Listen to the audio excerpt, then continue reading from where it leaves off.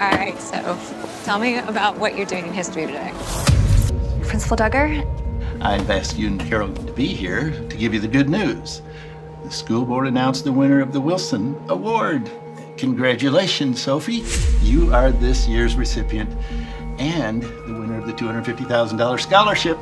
This is rigged. Her mother works for the school. She must have influenced the vote. Now, I understand your disappointment, Miss Carter. This isn't over.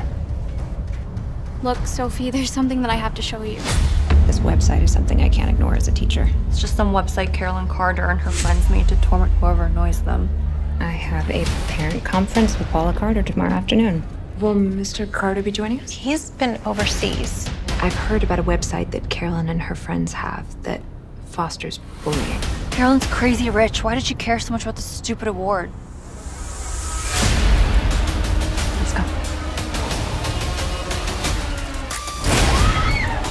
And if I need to speak to someone's parents, I will. Why? So my mommy can fight my battles for me?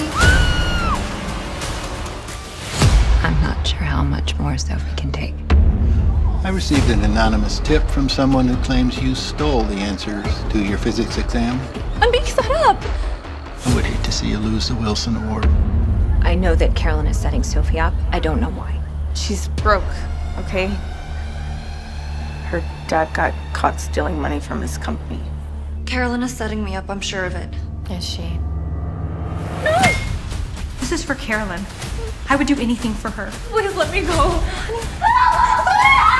make this harder than it has to be. Get your hands off my daughter!